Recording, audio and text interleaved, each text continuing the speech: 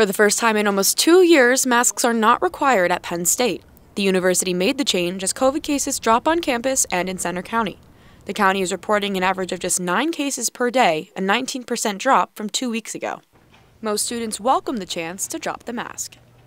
Honestly, I feel pretty comfortable not wearing a mask in class as long as everyone else is comfortable with it. I have one teacher that explicitly said she wants us to all keep our masks on for like the safety of our international students who might want to go back somewhere. University employees have the option of requesting students or guests to wear a mask in their office or classroom. Olusegun Sotan still wears one in class to make his students feel comfortable.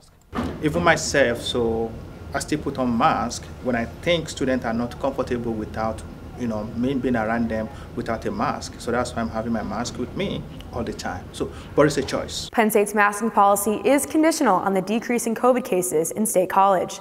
The university will consider updating the policy should the level of risk change in the future.